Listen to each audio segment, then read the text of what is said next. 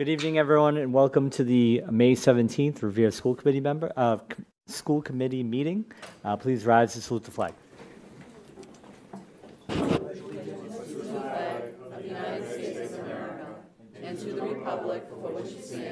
One nation, under God, indivisible, with liberty and justice for all. Roll call the members. Mrs. Bronsdon Rizzo, Here. Mr. Ferrante, Here. Mrs. Gravellese, Here. Mr. Kingston, Here. Mrs. Milbury Ellis, Here. Ms. Tye, Here. Mayor Arrigo. Here.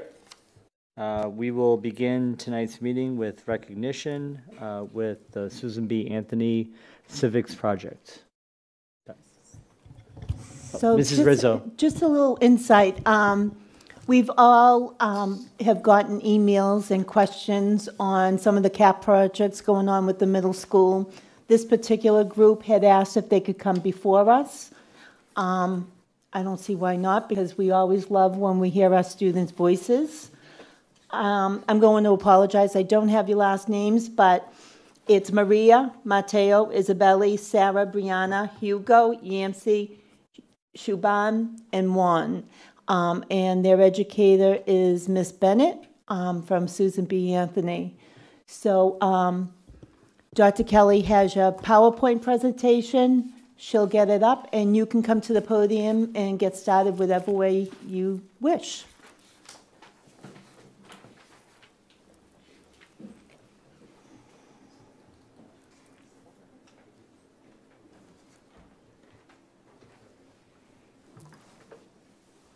Paul, do I need to share my screen to project this? Yes, you do.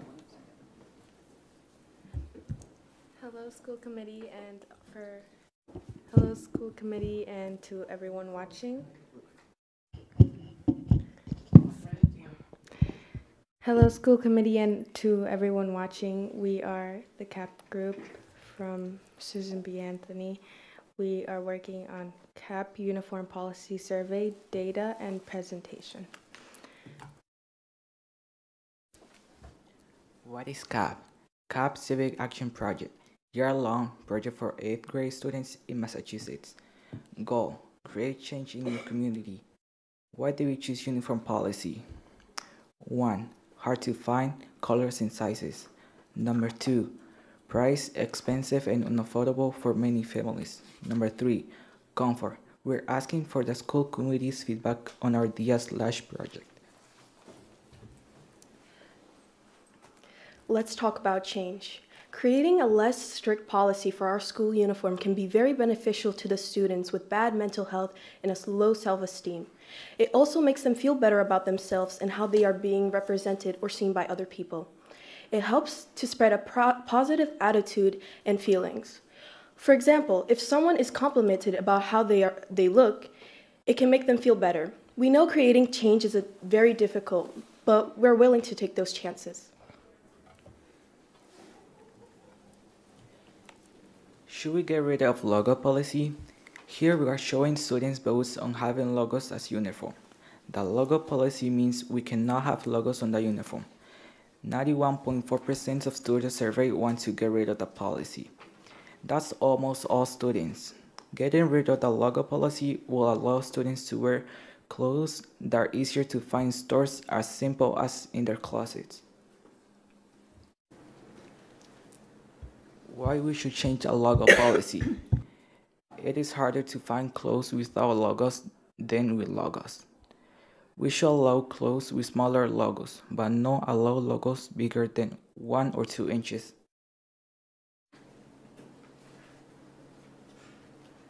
Do you want to add more options to pants and shirts? This image shows the percentage of students' options on adding more options to pants and shirts for the uniform policy. As you can see, that most students surveyed said yes to adding more options for pants and shirts. Options might include t-shirts, jeans, etc. What do you think about adding non-colored shirts? Here it shows the 90.3% of students we surveyed who would like to add non-colored shirts. This is a good idea because if students have a wider selection in clothing, they are more likely to abide to the school uniform policy as it will be easier to. Why is college shirts should be optional. Studies show that students are able to focus and increase in productivity at school when wearing more comfortable clothing. In the article published by Raphael Lee, they stated, People do better during exams when they are dressed in what they feel is most comfortable. They also stated, dressing comfortably has also been shown to increase productivity at school, work, and home, and much more. I also want to include st- students with sensory issues. The collars can become a problem because I know people, including myself, who does not enjoy wearing the collars. When being uncomfortable in class, it is very difficult to even focus or participate in the classroom. Non collar shirts also tend to be less expensive than shirts with a collar.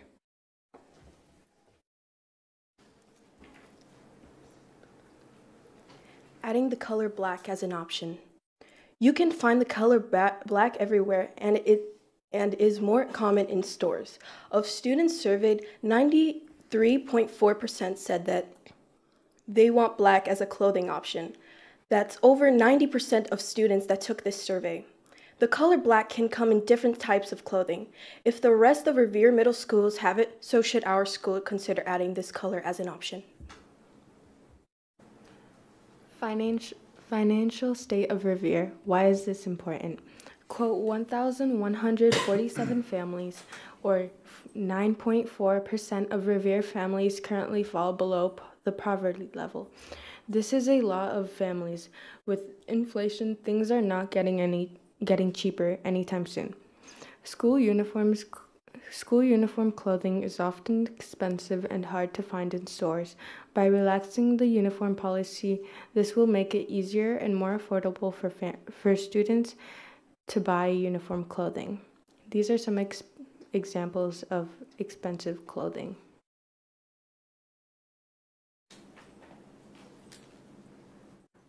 Uh, this is where we found um, our resources.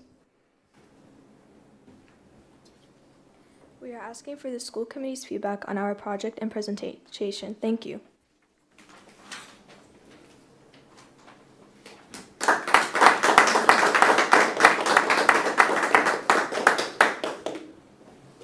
Thank you. Uh, Any school committee members? Mrs. Rizzo. Excellent job. And um, getting up in front of an au- audience is difficult, and with practice, um, it just gets much easier. But you all four were um, fantastic. I will, um, I will say, I've said it in the fall when we got civic questions about this particular item, um, also about lunch items. The first place I would really like to see you start is with your school improvement council. Bring this up to Ms. Willett, um, have the council look at it, and then discuss it as a group. Because it starts within your school. Your school is the one that has um, chosen to have uniforms. We just gave your principals like the tap on the back and the support. Um, You're the ones that need to make that change. It starts with you. Um, So I encourage you to get this phenomenal information. Ask um, Ms. Willett if you can present it at the next school um, improvement council, and then hopefully students, are you in eighth grade? Oh, my goodness. So maybe from there, the seventh graders will take this on, um, and you can work with them on it. But, I mean, I am so impressed, and thank you so much for bringing this forward. Thank you, Mrs. Rizzo. Uh, Mr. Kingston. I think the presentation was excellent as well. Um, I'm just trying to be funny, but true, next year, if you come to the high school, there is no uh, uniform policy, so you kind of have something to look forward to. Um, I'm, I'm betwixt and between on it. Um, I, I understand it from a perspective, sometimes from a discipline perspective, it's easier if people are in a uniform, but I also understand the data. I did read it, and I do think you did a great job, but um, again, I agree with Ms. Rizzo, it's really got to start at the school level. Um, But thank you for your efforts, and um, I did listen, and I, it's something that maybe we'll discuss at some point. So thank you for bringing it to our attention. I appreciate it. Thank you. Thank you, Mr. Kingston. Uh, Ms. Gravellese. Thank you, Mayor Arrigo. Um, Thank you. This was a great presentation. I can see you guys really did a lot of work. You surveyed, these surveys come from the eighth grade only, is that correct? Yes? Cap problem. Um, Right, so I'm just wondering, you know, as Mrs. Rizzo stated, even surveying all the students in the school would be a great idea to get a better feeling of how everyone feels. And um, I'm not sure how receptive the kids are to this, but I think even surveying the parents would be a great idea. Because if I can remember way back, I'm really dating myself in the 90s, before uniforms started, there were parent surveys around in the elementary schools to see what the consensus was. And it took probably several years before the majority of parents actually were in favor of uniforms. Um, So I'd be curious just to see a parent survey, to see their feedback and how they feel, if it's more difficult for them to find their student uniforms, if it's more expensive for them, because we do supply uniforms for those in need that can't afford them. Um, So that would be something that I'd really love to see added to your project. Thank you. Thank you, Mrs. Gravellese. Uh, Ms. Tye? Well, I cer, I certainly congratulate you for getting up here. It's really hard to stand up, you're not even in a chair. It's really hard to stand up, speak into a microphone when you don't know what it is. You have taken the first step toward making something happen. Now, I'm not sure I actually agree with it. As a matter of fact, I'm sure I do not actually agree with all of your points. Uh, And I would reiterate what uh, Mrs. Gravellese said. It all started at the Lincoln School. Um, The Lincoln School parents wanted uniforms of some sort. And they were the ones who started out, I mean, before that, it was a- just a, a general, like, uh, sort of a dress code, rather than an actual uniform. And then they're the ones who wanted like a certain color pants or a certain color top, or a change. And then other schools, the PTAs started working with that. So, eh, but in generations, people change. As people age, they change. I am one person on here who had to wear a uniform, a very strict one, because I went to a parochial school. And I hated it. And I agree that if you don't feel good in what you're wearing, you know, it's, it can be a real problem with how you, um, how you react in school to other people, um, and how you feel about yourself. And that's the most important thing.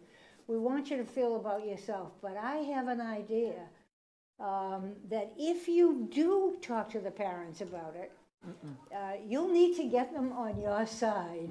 Yeah, if there are sides on this. I use, I say that jokingly. Um, you just need to have more people involved in what you do, but I give you a great deal of, of credit. I'm sure some of your teachers helped you. Um, uh, there were, I go back to my years of teaching here at Revere High School, and kids couldn't even wear sneakers. Um, and the girls had to wear stockings. So that certainly has changed. Miss- Dr. Colucci thinks that's pretty funny, 'cause he, he was a student then. But, um, and Mr. Kingston too, uh, so, and, you're too young. But at any rate, it's a wonderful thing to see you starting, speaking out. And I, for one, would be very happy to listen to you again, to have you talk to other people, and uh, come back to tell us again what you've learned, what you're going to modify, if, if anything. But um, this is the first conversation. So I look forward uh, to at least two or three or maybe four more. How's that? I'll be listening. Thank you very much for coming. Thank you. Thank you, Ms. Tye. Uh, Ms. I'm not Milbury Ellis. dismissing you. You don't have to. I don't have Yeah, you got a history lesson, but we're Yeah, not so done what? with you, okay? I think We're they're not done with us. I just wanted to thank you as well. Um, you all should be very proud of yourselves. It's not an easy thing what you did. My fellow committee members have all echoed my sentiments. I'm extremely proud as well to watch you, you know, come up. Did you come up with this idea as far as what you wanted to, you know, attack with the uniforms? So I, I, I feel your pain because I have a daughter who complains about the uniform on a daily basis. But as a parent, I feel as though it's very easy. But I can tell you that I do look forward to you guys coming back because I do see some things in here that I can definitely get behind. So um, I would take the recommendations made by starting with your school and, um, you know, just ask to be heard and take it from there and then come back and see us. All right, thank you again. Thank you. And Mrs. Rizzo. So I, I want you to leave on a positive note and do not feel defeated because I was the parent that started uniforms at Lincoln School and you can ask Mr. Rizzo, he disliked me for, I don't know how many years. Um, elementary, but that was elementary. And I'm looking at you young people, you're moving on to high school. And there's so many changes going from junior high to high school. And now the freedom of to wear what you want to wear gets thrown in the mix. My suggestion to you is if you speak to your school improvement council, maybe do it as an eighth grade pilot program for a couple of months before the school year ends you know, maybe look at it that way. Um, there's different positive ways to look at it, um, but it's baby steps. And um, maybe you're the students that can show us as adults that everyday clothing does not direct us in which way we want to go in the classroom.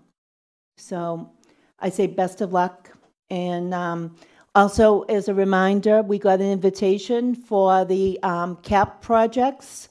Um, So if you have a chance, go by. I'm sure there's many projects that we would love to see, and um, we can go personally say hi to them again. But thank you. Please go out here on a positive note because you did omen's work. Thank you, Mrs. Rizzo. Uh, Dr. Kelly. So just briefly, I have a question for the team. Um, Did you meet with Mrs. Willett about this already, or do you have a meeting scheduled with her? Great. When is, when is the meeting? Tomorrow. Okay, so timely.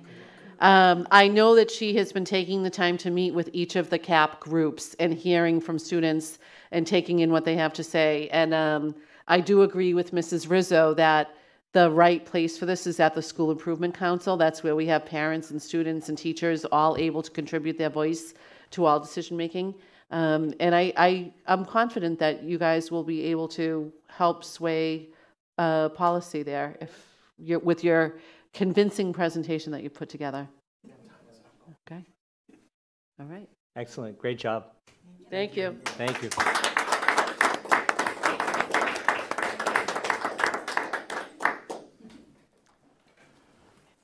The next item on the agenda is the consent calendar.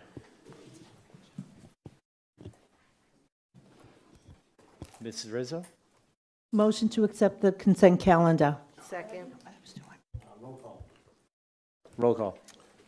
Mrs. Bronsdon Rizzo, Yes? Mr. Ferrant, Yes. Mrs. Gravellese, Yes. Mr. Kingston, Yes. Miss Milbury Ellis, Yes. Miss Tye, Yes. Mayor Rigo. Yes.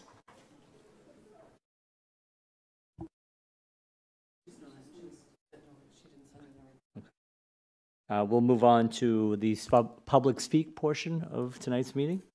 Any members of the public looking to speak? Is anyone on Zoom?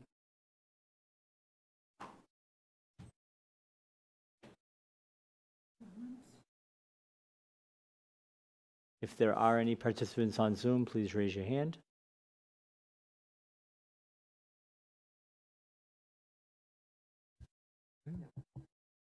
Going once, twice.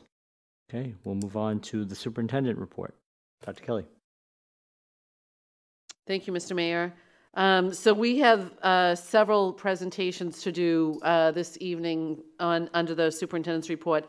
And the first one is from Garfield Elementary School. Um, So I am going to uh, bring up uh, some of the folks that are, I believe, going to be presenting on that. Um, And Dr. Napier, please tell me if I've missed anybody.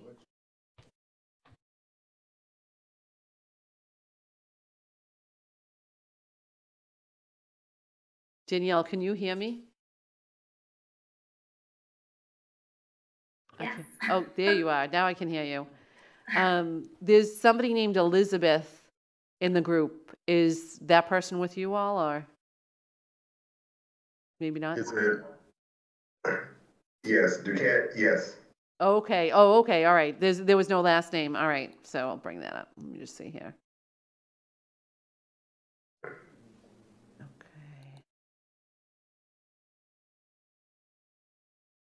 So I'm just going to bring up your um, presentation here. Is it possible that I can share my screen and present my thing myself? It may be. Let me see if I That way can I make, can- let me see if I can make I that can happen. Go through the slides myself. All right. All right, Danielle, you should be all set to share now. I made you a co-host. All right, um, did Doc, Dr. Napier, did you want to say something first before I start? Yes. Um, so, good evening, everyone. Um, I just wanted to, first of all, um, take today to highlight the tremendous work that we've done in our with our art program at the um, Garfield Elementary School. Um, as the new principal of the Garfield and as a new principal after a pandemic interrupted year, I had a, a lot of areas to focus on. Um, but beyond academics, one of my chief concerns was restoring a sense of normalcy and community building. And after more than a year of isolation, it was really important for students to feel connected to their school and classmates. And one way this has been achieved is through art. Um, our art teacher, Dan, um, Danielle O'Connell, as you will see, has really engaged our students on all levels in activities that bring our students together, bring our families together, and have helped to mobilize our school community to support and recognize common causes it um, school-wide art installations, art that represents a wide range of cultures at our school, or efforts to support people in need. Um, the work that our students have done in art class this year has been really fostered connection, brought us together, and created an outlet for creative expression. So um, I want to turn it over to uh, Ms. O'Connell to talk more about this really great work. Thank you. Um, I have to give you fair warning. I'm going to talk a mile a minute because I'm super proud of what we've accomplished this year, and I brought a lot to share with you. So I'm going to share my screen. Hopefully, I do it the right way. Um, been a while. Hold on, that's my email.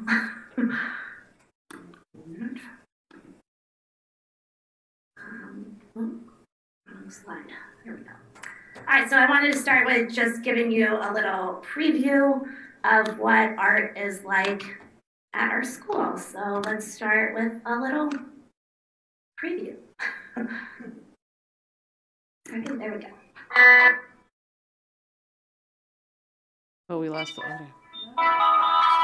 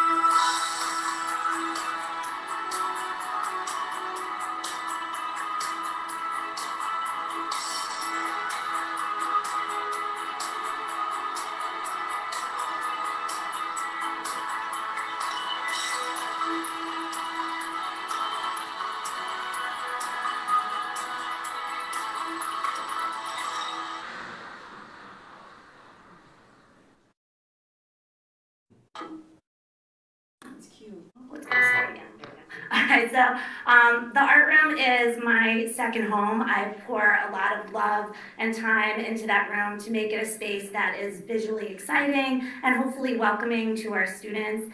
And after the chaotic year we had last year, being remote, being art on a cart, I was super excited to be back in our room and just be have a space to create together. Um, so we kicked off the year with reviewing old routines and starting some new ones, which this year included the use of uh, self-made sketchbooks. Um, so on our first day back, students got to tell me a little bit about themselves by using a secret code of lines, which you can see on the screen over here. And I think my favorite quote of this first time back in the art room came from my friend Stephen in third grade, who wasn't even talking to me at the time. I just overheard him talking to a classmate and he was just saying, This is my best day ever. I feel so alive. And it just kind of encapsulated how I was feeling and how I hope all the other students were feeling being back and creating in the room together. Um, our first real project every year revolves around Dot Day, and we base Dot Day on the story The Dot by Peter Reynolds. And on that day, we celebrate those main ideas from the story, which include bravery, creativity, collaboration, and making our own special mark. Um, this year, students made their mark on our school with an outdoor art installation. Um, during 2020, I went to the Tower Hill Garden for their exhibit they called Yarn Storm, and I was super inspired. All the artists um, went out and covered the entire garden with yarn, crochet, knitting, pom poms, and just in a time where everything felt really heavy and dark, this exhibit brought me so much joy and light. And I just wanted to bring that back to our students. And so I talked to them about yarn storming. And fifth grade, Kim went outside with me, covered some of our trees and the plaza outside of our school with yarn. And then every grade, K through five, created their own dot for Dot Day in the form of a pom pom, which we hung outdoors on all of our trees in our plaza. Students on that day um, are encouraged to dress out of uniform, dress in dots. The more creative, the better. And our students really don't disappoint. They um, go all out and dress to the nines and create their own things when they don't have shirts with dots on them. And it's just such a fun thing to see them walking into school that morning. Um, our specialist team really works together on that day. Um, typically in the past, I've had um, parents come in and run stations for Dot Day, or just they're invited to just come and create and collaborate with their students and create some art. At this point in the year, it was still really early, and I was really wary still of COVID. So um, we stuck with just the specialist team this year um, running the stations. But we had um, CD spinning, which you see here. We had homemade chalk paint. We had cups, which they were able to put into the fence to make designs or stack into different towers. They could build pictures using popsicle sticks. Um, Mr. Labruna, our gym teacher, created a movement station with our hula hoops as our dots. Um, Miss uh, Kaplan, our music teacher, was playing music while students were able to color and create dot books that they could take home that day. And some of my older students helped me further yarn storm our fence overlooking the field um, on that day. Um, so it was super fun. Whoops, I think we skipped one. Oh. Next up, the whole school uh, collaborated to create our Candyland Glow Gallery. And Candyland was actually invented during the polio epidemic by a school teacher who was quarantining with children, trying to find a way to entertain them. So we made those connections and um, we created our own candy inspired art. And this time, at this point in the school year, it was nearing winter, nearing December break um, I was more comfortable with COVID. And so I, we did invite the families to come through one evening with their children, which also fed into another evening event we had going on at the Garfield that night. I never want students to feel left out, so um, I know not everyone can come after school to uh, an art show. So I, um, in our last week leading up to December vacation, I held art in the Glow Gallery um, where students were able to walk through just like we did that night with the music playing. Um, so they got the same experience everyone else had. And then we got to play our own life-size version of the game where I collaborated with the teachers at the different grade levels to give me an ELA and a math question for the game. We had art and music questions. We had get to know you questions, movement questions. And it was just a really nice way to spend some time together before we left for our holiday break.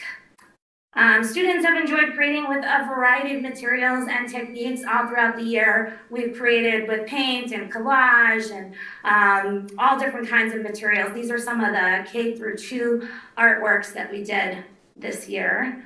Um, and then I got to push into some of the small learning group classrooms on our half days where they got to explore different techniques like printmaking. We made these flowers off CDs. We did floating chalk prints. We did embroidery. We did collage on sticky paper. And then in the older grades, they delved into more complicated things like value and weaving and texture and creating three dimensional books and three dimensional artworks like sculptures, portraits um, these abstract artworks that we turned into explosion books. Um, we've just been able to create a lot of fun things this year. We've grown our appreciation for other cultures. So as Lunar New Year came around um, in the first grade, we talked about Lunar New Year celebrations and um, created our own paper cuts focusing on the year of the tiger and symmetry. And then fifth grade created um, dragon eyes. And We talked about how the dragon is used in a lot of Lunar New Year celebrations as well. We discussed ways on. Um, we we also in third grade talked about the Peruvian um, Quechua, the Quechua people from the Peruvian Andes and their strong weaving tradition. And then students created their own weavings on these adorable alpacas. Uh, we discussed ways art can show respect for our planet. So as Earth Day came around, second graders talked about recycling, and in true art teacher fashion, I dug through the trash and found some um, uh, old worksheets that we could recycle, as well as some faded construction paper that I had, and students used that to create their own worlds.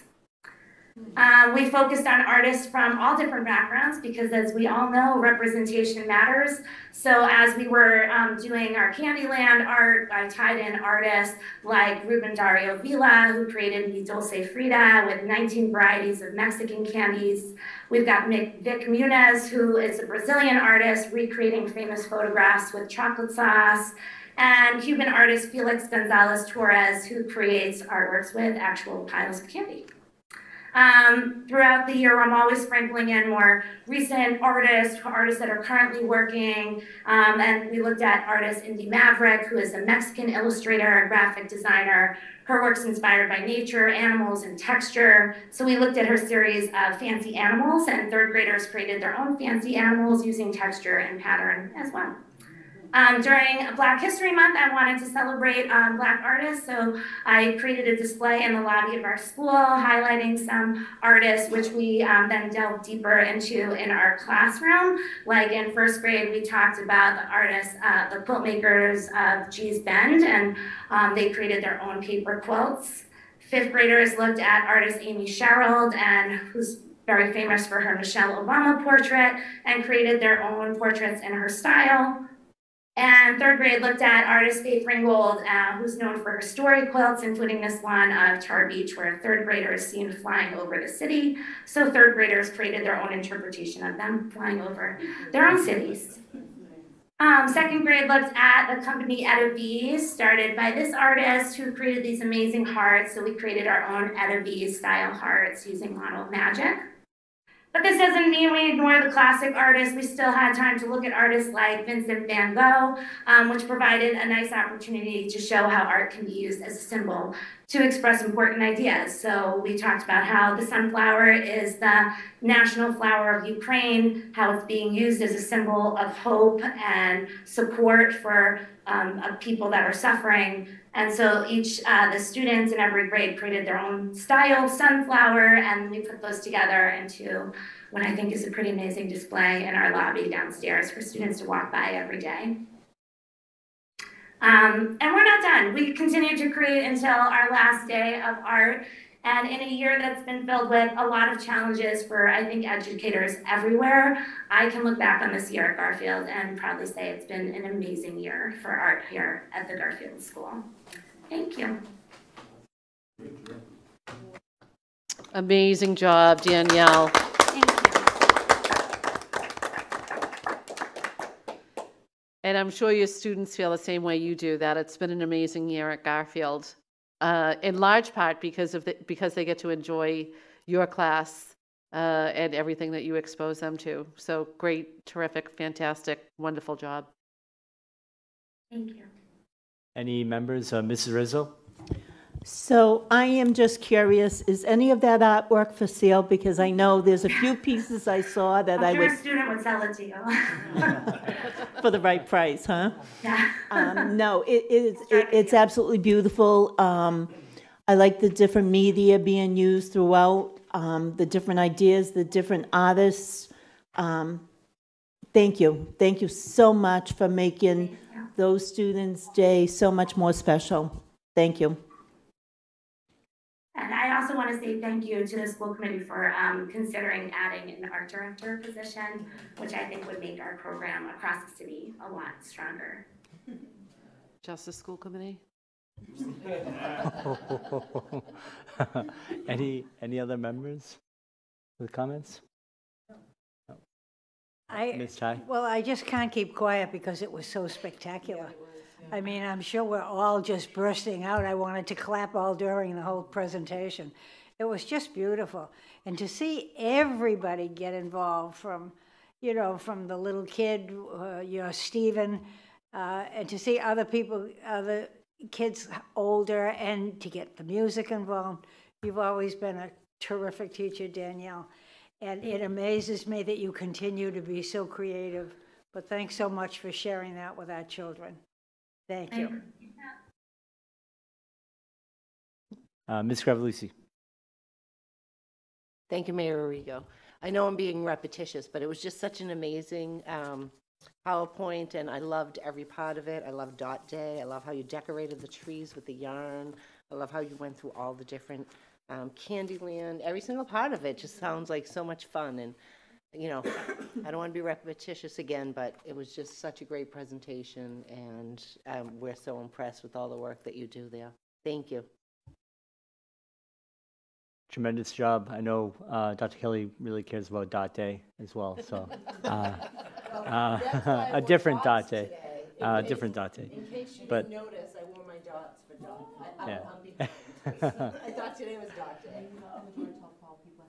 But thank you, um, thank you for the tremendous work. We really do appreciate it.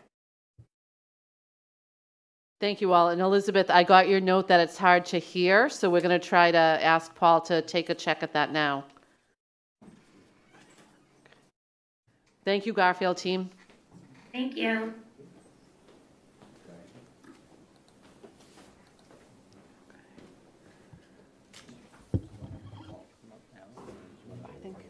Just run through, I think it'll be pretty quick.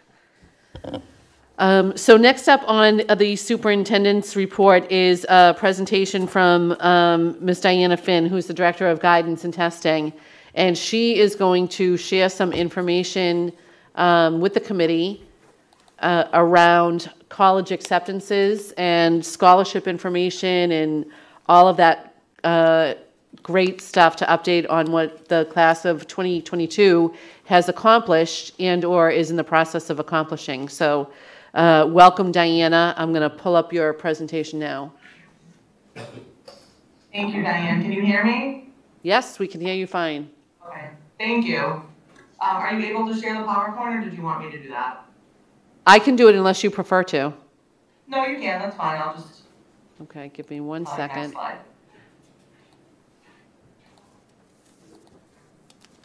Okay. Thanks. Yep, thank you. Um, good evening, everyone. Thank you for giving me this time to present to you tonight about our current, um, ongoing and new upcoming partnerships. Um, more specifically, I'll focus on our partnerships in higher ed, financial aid, and workforce development.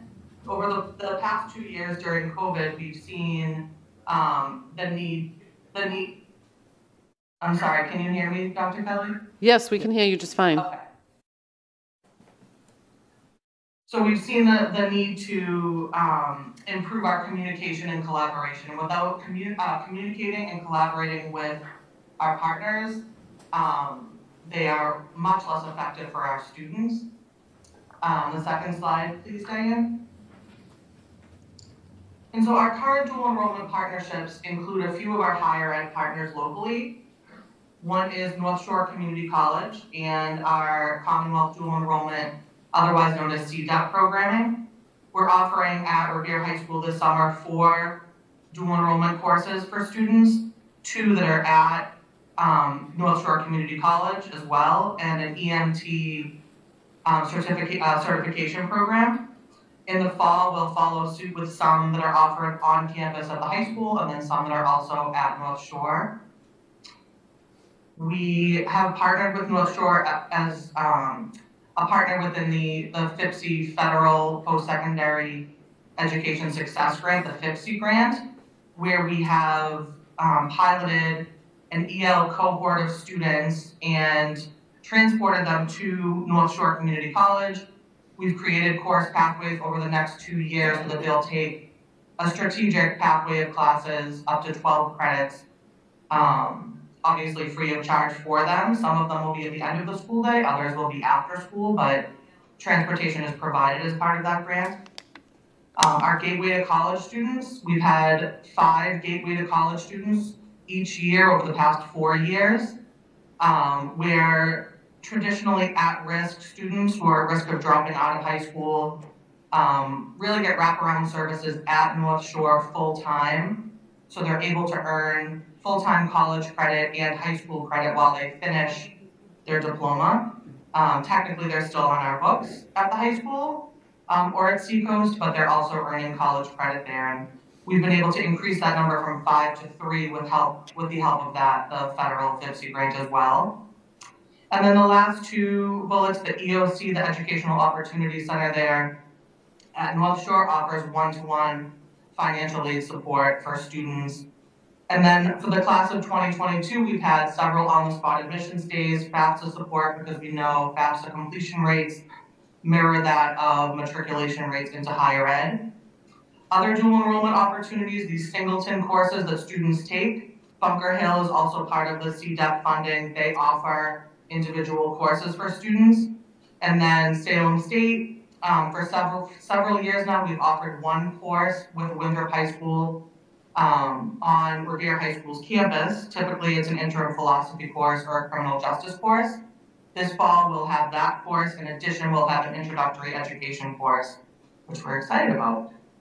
Um, and just one word about Gateway. Over the past four years, we've had um, 20 students graduate through the program, and 70% of those students have continued on um, at either North Shore or another public state college. Thank you. And then, so early college designation is really an offshoot of dual enrollment. It's a change in funding through the state. Um, it's become a competitive grant that is awarded yearly through the Department of Education and the Board of Ed. Currently, there are 42 high schools and 22 higher ed partners that um, have applied for designation each winter. Um, and essentially, it is different from dual enrollment because it is a cohort model. Students start early in high school and complete coursework and pathway work throughout high school um, and during their school day, both on campus at the high school and at North Shore, who would be our partner with early college. It's a work to really blend our high, some high school elements and college elements to give students the opportunity to complete academic college coursework, reduce the equity gap, and increase college completion rates. And then some components of early college um, and the early college process that, that the department is looking for within our plan is equitable access to underrepresented students. So we are told that within our um, proposal, we're the only school statewide that has an ELL cohort of students. So we're we're really proud of that work and that that part of our plan. Um, there needs to be a connection to career, and so we're working on partnering with STEM internship placements, both through our ELO um, professionals at the high school and also through North Shore. Academic pathways, um, early college needs an academic pathway, so we've selected STEM, computer science. Um, so students, as they complete their um, minimum of 12 credits at North Shore by their junior and senior year, they would select a pathway to, um, to graduate. And then lastly, robust student support. So they would, they would have the support of the high school counselors and early college teacher, as well as all of the supports that North Shore offers. One thing that we're particularly proud of is our curriculum alignment that our content directors, um, Dr. Costa, Dr. Porter, and Ms. Lavalita spearheaded this year, um, at the end of last year and then throughout this year, and that have been approved through North Shores Board academic deans, um, removes barriers so that students are able to submit their transcripts if they want to take a dual enrollment course or an early college course. Um, and if a student passes with a C or above, for example, ELA 12, the college removes the barrier of AccuPlacer or PSAT scores in order to place out of a developmental a developmental course. Um, and so that work's been done at the ELA level, the math level, and the ELL level. So extremely proud of that work.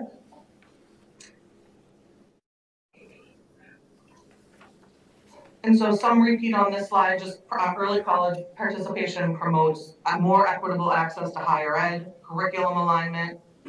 MyCap is the state, um, the state college and career curriculum that is, um, it needs to be all encompassing throughout the school. It can't just be counselors pushing into advisory, so it needs to be within all content, within all lessons, it's all hands on board um, especially with first generation students to make sure that it's within their day every day talking about um, preparing for their future, whether it's within a college, a training program, a career. And then lastly, for early college, there are many opportunities for communities of practice within that and to meet with other districts who are participating. So these are our um, partnerships within higher ed and careers and external learning opportunities that students um, are able to participate in. Um, some of them you've certainly heard about some of them before in previous presentations that I've made, but I would like to highlight a few in particular here. Um, certainly our, our Mass General research opportunities and youth scholars and very specific programming like BU Grow, a research opportunity, summer research opportunity for young women, the Ragon Institute at MGH, MIT, and Harvard.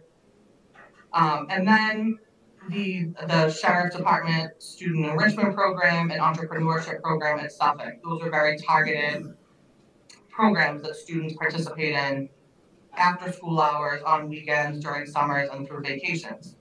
Um, some things that go on during our school day that we've used the information that previous classes of seniors through the senior survey has told, have told us, and they've told us that although like the huge college fair once in October with 200 schools is great, it's also very overwhelming for a lot of students.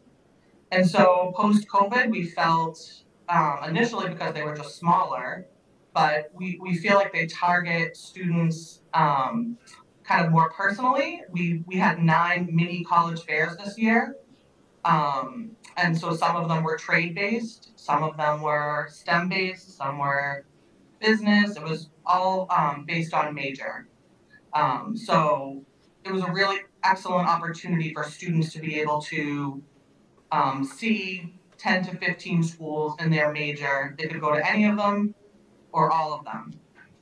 Um, and we got some really great feedback from colleges and from students on that. Um, then way down the bottom um, of this slide here, we again listened to some senior feedback. We provided info sessions, group trips, um, individual interviews with some pre-work to some new partners here, Local 12 and Local 6 in particular, um, Feeney Brothers Gas Fitters, Roots Culinary, so bringing these partners in to meet with students. Often in the past, it was, you know, what connection does a student have to someone who works in a union? And we know we can't rely on that anymore. We want to bring these opportunities to our students. And we felt that we took um, some really great steps towards this this year and will continue to do so um, in the future. Some of the financial aid resources that we have, um, we had our counselors retrained, and every year there is a refresher course that they take on financial aid with all of those changes, how to help undocumented students, how to help students get more need-based aid, file file financial aid, um, waivers um, for their families.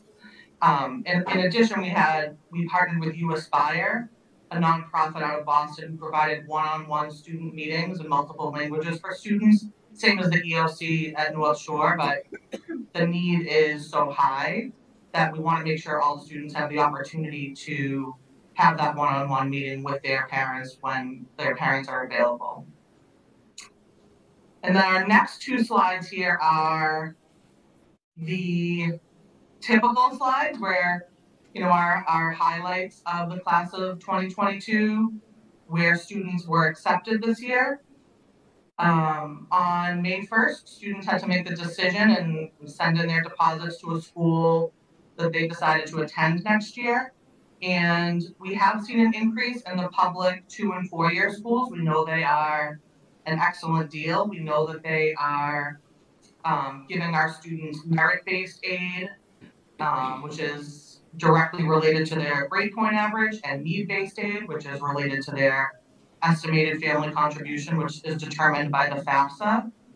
Um, so counselors and financial aid counselors are helping students and families make those challenging decisions. But we've seen more of a trend towards the two and four year public, and students are more likely to have the conversation about a training program, a two year program that could lead to a certificate so they're able to make more of a living wage and then go on to a four year school. Where in the past and pre COVID, we felt that, that those conversations students were less likely to um, be open to. So then the next slide here is trends that we're seeing in um, in financial aid and in college acceptances and how students are looking for college programming. Um, like I had mentioned, students are are much more frugal and level-headed in some ways about making the decision and how affordable it is, how cost-effective it is, how how likely it is that they'll get a job after. Should I look at the two-year or four-year public now and then a private school for my master's or graduate degree? Um, certainly after COVID, students are looking for more of a flexible class schedule. Um, and then down the bottom right there, we know that students um, are looking at things beyond their four-year bachelor's degree to prepare for their future, not just the traditional. And that a third of Gen Zers say that the financial fallout of the pandemic has made it unlikely that they will pursue a four-year degree. And so we've heard this, these conversations, counselors have heard these conversations, and we've, you know, it becomes even more important that the role of the counselor, the social worker, the advisory teacher, the the connection that the students have within our schools, it becomes even more important um, for those conversations to happen. And that a four-year degree is certainly for some students, but it's really important for students to understand what they're looking for, what their strengths and interests are, and then have the opportunity to partner with their counselor who can who can connect them with a program that could meet those needs. And then the last slide here, I think I may have already gone over some of it. So matriculation and financial aid trends nationwide. We continue to see an increase in applications. This is partially because students just want more options and because we've seen an increase since COVID of SAT optional and test optional schools. Um, the selective tip top schools are still at below a 10% acceptance rate. Um, there's when we've seen this at the, the third and fourth bullet there, we've seen an increase in two and four year um, public school matriculation, an increase in merit and need based aid. And as I mentioned earlier, the FAFSA completion rates, which we work really hard on, and, and we run those reports weekly in the guidance office to see who's completing their FAFSA, who do we need to reach out to, because the FAFSA reports and the completion rates almost always exactly mirror those students who actually step foot on campus um, in the fall. And we want to make sure that students are getting every penny that they that they can. And that's all I have. I'd just like to take a moment to commend our counseling staff um, within the schools for communicating and collaborating with each other and with our outside partners. And of course, like beaming with pride this time of year for our class of 22 and everything that they've overcome um, the past two and a half years. So thank you for again for letting me present to you tonight. Are there any questions? Any members? Uh, Ms. Um, Milbury Ellis. Thank you, Diana. I just have a couple of questions for you. Um, I'm curious as to the number of students that are headed to colleges uh, for the class of 2022 and where that falls in line with past years. I'm sorry, I can't really hear the question. Sure. Can you hear me okay now? Now I can a little better, yeah, thanks, Aisha. Okay, so my question is, um, I, I guess I'm looking for like the number or percentage of students that are headed to college from the 2022 class, and I'm curious as to where that number falls with respect to past years, whether Right. we've increased that number or it's gone down. Mhm, So right around this time of year, we hover around fifty-five percent. And then we've seen the, pa- just like we have the past few years, that that, the last month or so of school, we run info sessions for our two-year schools to get students enrolled and FAFSA sessions for our students to be enrolled um, in the fall. Typically, we're up almost at seventy percent, sixty-five to seventy percent of students going to two and four-year schools. Um, the past several years with COVID, we get the numbers back in January of those students, that percentage of students who show up on campus through the, the National Clearinghouse. And it's been much lower, so it's been around fifty percent, um, the past two years, post-COVID, of students who have shown up on campus. Um, and we just, we know the importance of the FAFSA, we know the importance of getting students onto a college campus before the end of high school, so that they know where the supports are on each campus. Um, and we're, you know, we're taking steps to make sure that happens for all of our students, especially for our state schools. Um, other than a couple of smaller states, Fitchburg, MCLA, um, we had field trips to every single state school this year, which we're really proud of, and was open to, they were open to any junior and senior, so we, we wanna get students on campus as well. Okay. And then for the external um, learning opportunities, I'm curious as to how, how the opportunities are presented to the students, and if they're presented to, do all students know that these are available to them, and, and how they find out about them? Yeah, so our ELO counselors, we have three of them. One focuses mostly on early college and dual enrollment, one focuses on internships, um, and then one focuses on making sure that all of our opportunities are open to our EL students. So they communicate to teachers, to students, and to parents, as well as to um, our traditional guidance counselors to make sure that everyone is aware of the opportunities.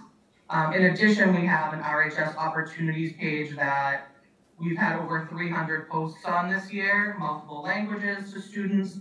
Every student is a member of it, so they get that um, notification. As well, on the morning of, when we have an info session, let's say for a trade coming in, um, emails are sent out to teachers, announcements are made. Um, and then at the end of every year, we have students take an interest survey so we can identify these students may want to be an electrician. So we can go and pull those students from advisory and, and ask them, do you want to see, you, this is how you filled out this form last year? Are you still interested in being an electrician? This is an opportunity right now that you can come and, and learn more about. And, and are Uh, these, For our internships, those are open to eleventh and twelfth grade students, any eleventh and twelfth grade student this year and last year. Um, the Department of Education had a, a grant that, um, our seniors were able to be paid for their internships. Hopefully that continues in the future. And then for our ELOs that are, um, partnerships on weekends and um, vacations, summer programming, we have those info sessions. We, we try and make sure that they're both during the school day and right after school for students who, um, work or they're not able to get to the after-school session, so we have them both during the day and after school to open up access to more students. thank you, Diana. And do, do you find that all of these, um, all of the opportunities that you have listed are filled? So I would say the ones on the, I can get the information to you. Sure. Internships on the whole were down the past few years because of COVID and we weren't able to run many of them, but right now we have over hundred and twenty-five interns out in the, in the community.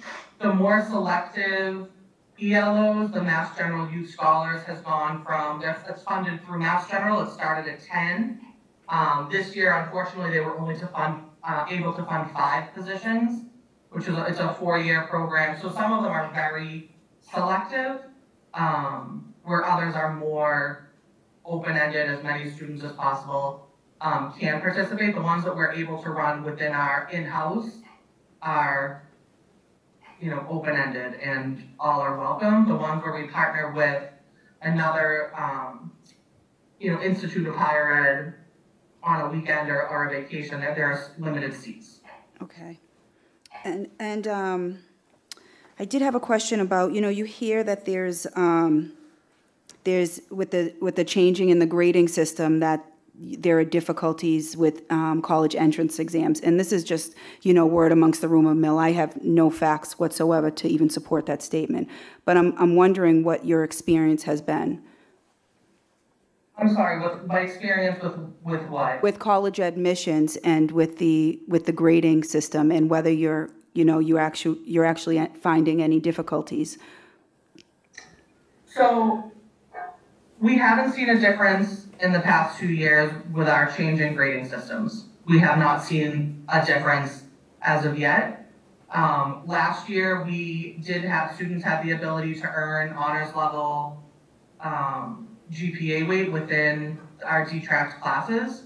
Um, and we are, while the details of that, we're not, I'll say PowerSchool teacher friendly on that side of it, tracking wise. We're working to figure out the best way to make sure that students are able to be heterogeneously grouped and still earn that honors designation. So recently I've, I've um, met with the program directors at Somerville High School and we're meeting with Concord High School in New Hampshire who have competency-based report cards and have, have detracked and um, they've run into some of the same conversations and struggles that we have. Um, Somerville, for example, as their way to track their honors versus college prep students and their heterogeneously grouped classes, they, students elect halfway through, they're going to take the honors level within that course, and they're going to do that extension work um, within the standards. And there are students that, that aren't. Maybe they'll do it in math, they won't do it in their English course. And so there are different ways of, of doing that. Um, that, you know, with the new administration coming in at the high school, I look forward to having those conversations to make sure that our college acceptance rates don't change because, you know, we are so proud of our students and the last thing that anyone um, will have is, you know, those taking the wrong turn. So Right. we're all working hard to to make sure those opportunities are open to students still. So and I'd, I'd like to respond to that as well. One of the things that we did do um, last year for parents was host an information session, uh, and Dr. Perella actually arranged this. We had admissions officers from a number of colleges um, be part of a presentation. And uh, I think one of the key takeaways that they wanted parents to have from that session, and Diana, maybe you can remind me which schools were there. I, I know that there were some from the UMass system. Um, BU, I believe, was there, Suffolk. Uh, I think, Uh, UMass Amherst, Bridgewater, Westfield, maybe UMass Boston, too, Diane. Okay. And um, one of the key takeaways that they wanted everybody to hear is that this work that we're doing around mastery-based grading in Revere is not new or unique. And it's not something that colleges are unfamiliar with. It's happening across the country as we try to reconstruct our K through 12 education systems into um, programs that will serve the needs of kids going forward as we move out of an industrial age and out of the factory form of education. Um, so colleges are aware of it and, and know about it and are familiar with it and do not make decisions about accepting or not accepting students based on their competency-based report card or their traditional. And I think Diana's point about making sure that we have our courses set up so that all students can access and earn honors credit um, at all times is really the most important next step for us. Thank you. Thank you, Diana, and thank you, Dr. Kelly.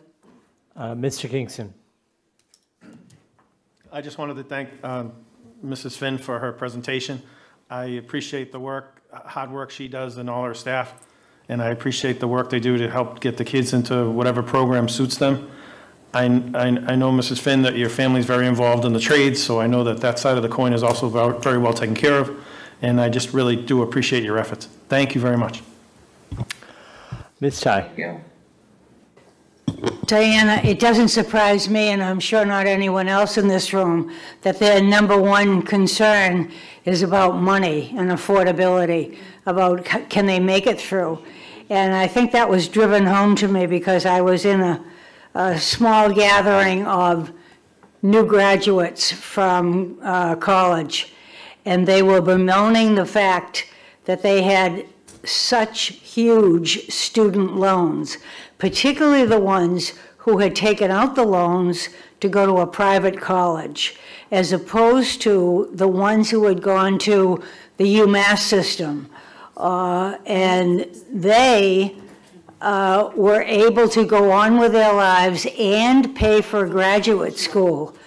Uh, So that's a lesson maybe that some, some of our kids, well, I'm sure they do know it, but uh, that, that it's good to drive home to so many of our kids uh, because you can get uh, a, a public college undergraduate degree and then go on. I myself did that. I went to uh, Boston State and then went on to BC. And, uh, and it certainly worked out well for me. And these kids were all saying that, and the ones who had not done it were really kind of bemoaning uh, that. So it is so important to find a way to look far ahead about what it will be like if you cannot, if you are going to be strangled, and it is a stranglehold, uh, by these lenders uh, for many years. And it's not going to be until your 30s when you finally have some independence from debt. So, thank you, Diana. Thanks for all you do. You're always in there and always pitching for the kids. Thank you. Thank you, Ms. Tye. Ms. Ferrante. Thank you, Mr. Chairman. Diana, um, do you guys look at the tuitions from year to year with different schools? And if we do, is, how much would you estimate the raise was from last year to this year? I'm sorry, I can't hear. Okay, I was just asking about the tuitions, um, and I know they went up. And I don't know if you get on that part of it, of, what, you know, what the kids have to pay to go to school. I was just interested in basically what the raise was and just some of the schools from last year to this year. I'm sorry, I can't hear, understand the question, it's all So, coming in. I, I think he's asking for, sorry, sorry I'm shouting. I know there's an audio problem, which is why I'm shouting. Um, There, he's asking for a comparison of college tuitions from last year to this year, if you know how much it's gone up. But I don't think that that's information that um, the guidance office tracks too carefully. Am I right about that, Diana? They can't hear anything, Paul. Uh, It's just, it's all kind of muted. Not really muted, but kind of cloudy muted. Sorry. Try it again, um, Diane. Can you hear me now, Diana? It just sounds very far away right now. I can't hear specific words. I know you're talking, but I can't hear the specific words. There's not, I don't know what else to do to this to like change that. Okay, thank you, Diana.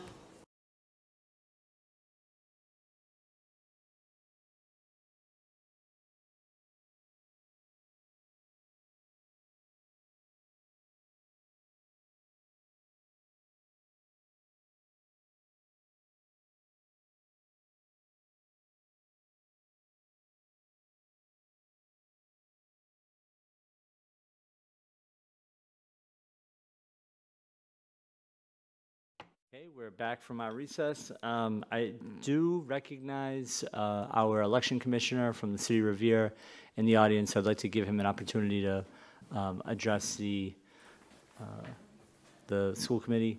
Uh, Just name and address for the record. Thank you, Mayor, members of the committee. Paul Fahey, I'm the new election commissioner, and uh, I don't live in Revere, I live in Melrose, but um, thank you for the opportunity to speak tonight. Um, I've been in the position since December. I know I've gotten to meet a number of you.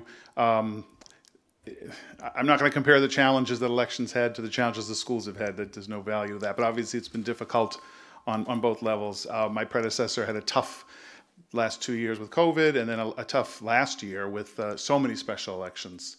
Um, and I came in at the tail end of that, so I got to observe the, the two Senate elections and then the regional school district election, which was helpful.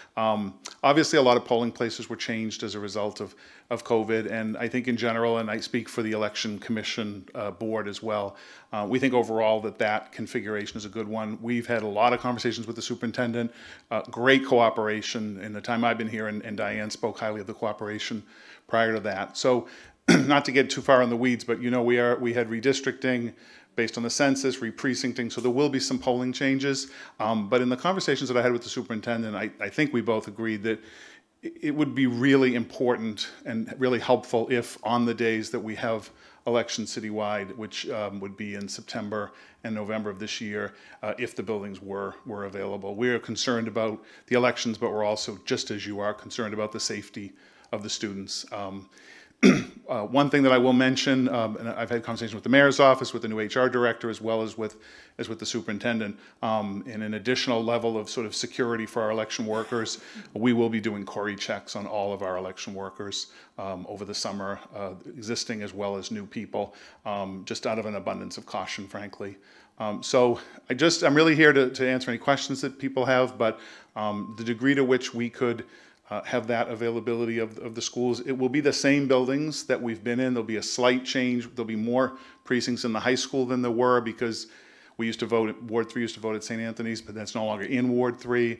So other than that, the other schools, which, as I say, at least in my observation from the feedback I've had from both the school department and my predecessor, um, overall has worked well. And uh, we want to work on enhanced signage, certainly on enhanced communication. Um, you know, there were polling place changes when we had the, the, the regional school election. Everybody voted at St. Anthony's. We have a special Ward 5 election. It'll be, it, it's a little confusing because it's the current ward, not the new ward. So there's still some pieces to this. So we think the communication piece with, you know, working with the school department, working with the community is essential. And signage, uh, we did a poll, um, a survey on the city website about election issues. And one of the common, and I, it was not a surprise, it just reinforced what I think I already knew and what I had heard from folks, uh, the election commission, as well as folks who had weighed in, was um, that signage was not, was not good in the past, or was not as good as it could have been. So that's something that we'll be working on as well. This year, I understand, is tricky with the September primary because it's so early. It's, it's the day after Labor Day, which I know creates challenges. Um, so I'm here to answer questions, but um, I, I've spoken to the superintendent. I know we'll figure it out no matter what the decision of the committee is, but um, it, it would be my opinion, for what it's worth, that uh, you know, if we can have some flexibility with schools on those days, it's just, I think it's going to frankly make it easier for everybody. So thank you. I wish you the best and uh, happy to answer any questions that you have. Thank you, Paul. Uh, Any members have any questions or comments? Ms. Milbury Ellis? Sure, I just have a, I'm, I'm curious as to why we're not using the, using other buildings that may be available within the, the district for elections as opposed to going to the schools first. So there are not really that many city, and when I say city, I'm including the schools, so let's say public buildings. Um, There's been a move away from fire stations, which frankly I totally agree with. I don't think fire stations lend themselves to, to safety. Uh, There's fire, and then people are running in and out of the building. Um, They're, they're spaces that are often not very well climate controlled, so you have a lot of problems with, especially if it's a particularly cold day or a particularly hot day. Um, I think in, in um, most of the communities that I've been talking to, and in my, even in my previous experience, work, I worked for mayors in the past, you know how that can be. But, um, sorry, Mayor, I couldn't resist. I think generally school buildings lend themselves to this use. Um, the, the, the way they're built, the, the big spaces, you know, whether it's a cafeteria or a gymnasium. We are moving more, this happened during COVID, but I, it's something we want to continue to having fewer polling locations that we can staff better, that we can be more, you know, use our resources better. We're moving more with, with new technology for, for folks with disabilities to vote, moving more to, um, you may have seen these or heard of these poll pads where we get away from, it's, such- one of the things I've learned is that it's such a paper dependent system. I mean, we kill way too many trees and a lot of communities are moving toward toward more, you know, technology that sort of lends itself to being more centralized. So I know there's been a movement away from some of the traditional locations, and, and we've gotten feedback and anecdotally, you know, I've always voted at location X, and, and I totally understand that. I think my thinking is over the last two years, people have kind of gotten used to this new configuration, and why would we necessarily want to change that again? I don't, from, from my perspective and from the commission's perspective, I don't think there's a really compelling reason to it does bump up against the school needs, and we are sensitive to that. So, you know, and last year was particularly difficult because there were so many special elections. It was such an Right. unusual year. So I totally understand that. I I can't tell you that will never happen again. This, you know, I was thinking, oh, this year's going to be normal, and then we have a special. But you know, it's one ward. It's it's in the summer, so you know th- these things do happen. But I think the confluence last year with, you know, two longtime legislators retiring and and and you know all of that happening, um, hopefully will be minimized in the future. That we'll generally be looking at the, you know, September, if, you know, next year for the local elections. If there's a preliminary election, it would be in September, and then the normal election in November. So we, we would like to stay with this configuration if at all possible. Thank you. Thank you. Any other members? Okay. Thank you, Paul. Thank you. Thank you. Thank you all.